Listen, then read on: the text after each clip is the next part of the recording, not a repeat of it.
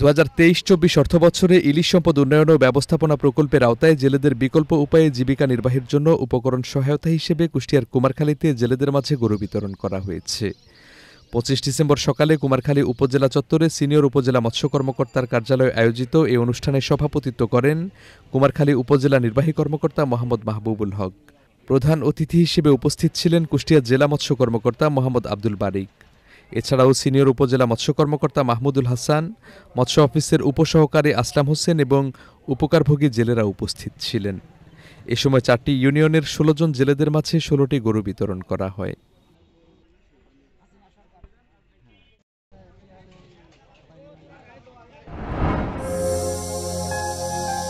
thank you